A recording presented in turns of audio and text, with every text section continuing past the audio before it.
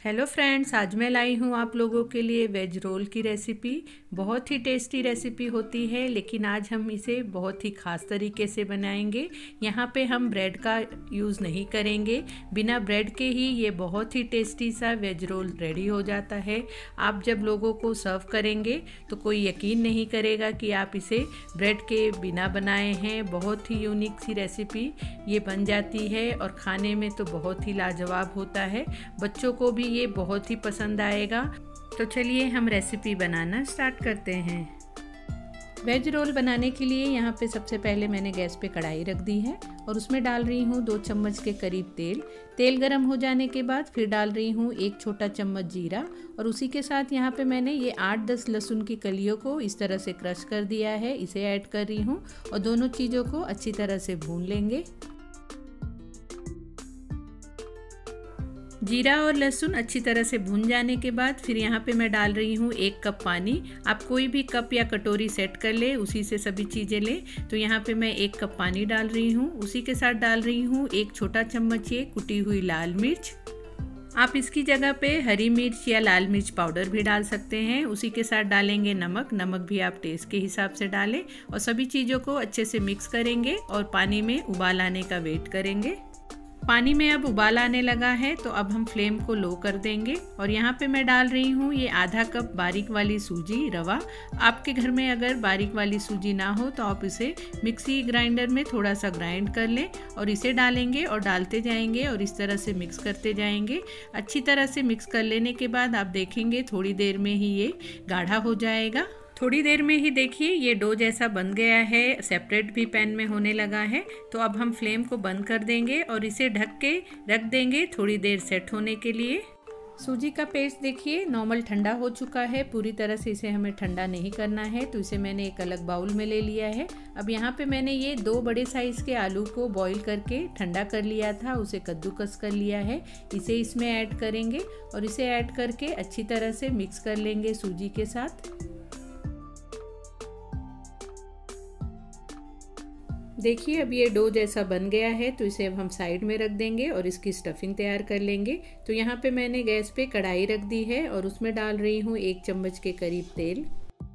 तेल गरम हो जाने के बाद फिर डाल रही हूँ दो हरी मिर्च। अगर आप बच्चों के लिए बना रहे हैं तो हरी मिर्च को स्किप कर दें। उसी के साथ डाल रही हूँ एक बड़े साइज़ के प्याज को, इस तरह से मैंने बारीक कट कर लिया है। इसे डाल रही हूँ, यहाँ पे हमें सब्जियों को ज़्यादा ओवर कुक नहीं करना है।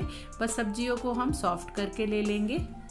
दो मिनट के बाद ही देखिए, प्याज थोड़ा सा सॉफ्ट हो चुका है। बहुत ज़्यादा इसे हमें डार्क गोल्डन कलर नहीं करना है। तो यहाँ पे मैं डाल रही हूँ एक शिमला मिर्च को। इस तरह से मैंने बारीक कट कर लिया है, इसे डाल रही हूँ। उसी के साथ एक गाजर को भी बारीक कट कर लिया है, इसे डाल रही हूँ। यहाँ पे आप सब्ज़ियाँ आपके पसंद के हिसाब से और भी ऐड कर सकते हैं और ज़्यादा कम भी कर सकते हैं। तो सभी चीज़ों को अच्छे से मिक्स कर लेंगे और साथ ही मैं डाल दे रही हूँ नमक कि जल्दी से हमारी सब्ज़ियाँ सॉफ्ट हो जाए। बहुत ज़्यादा हमें इसे ओवर कुक नहीं करना है थोड़ा सा सब्जियों में क्रंचीनेस ही रखेंगे तो बहुत टेस्टी लगते हैं। तो यहाँ पे मैं इसे ढक के मीडियम फ्लेम पे कुक कर रही हूँ कि सब्ज़ियाँ जल्दी से सॉफ्ट हो जाए।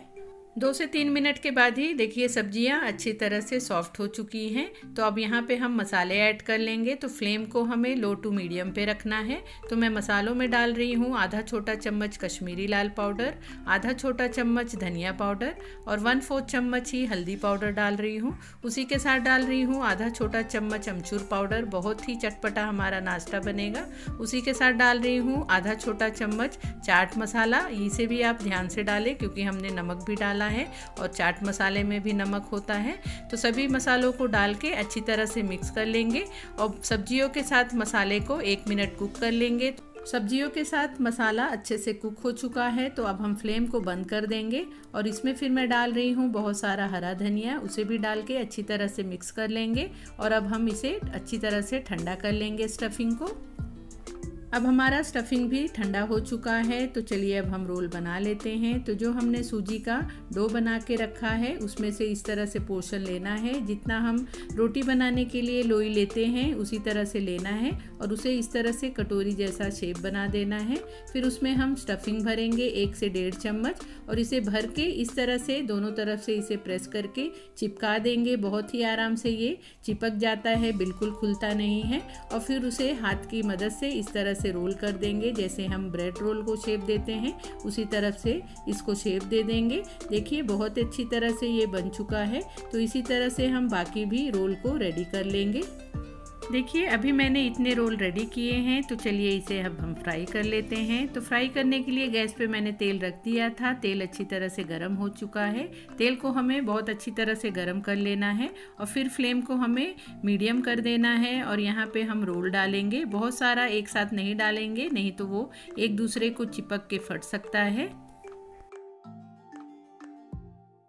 एक मिनट के बाद जब तेल में रोल सेट हो जाए तो उसका हमें साइड चेंज करना है। तो इसी तरह से अलट पलट के इसे फ्राई करना है।